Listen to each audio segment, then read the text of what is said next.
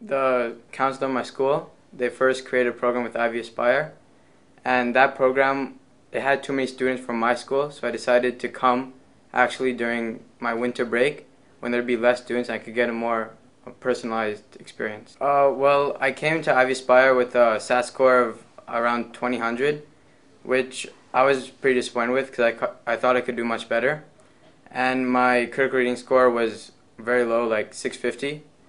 And so I really wanted to focus on that, and I came to Ivy Aspire hoping to do that, and I got a lot of vocabulary practice, a lot of practice questions, some good materials to use, and that really helped me improve my critical reading score to 790, which I was very happy with.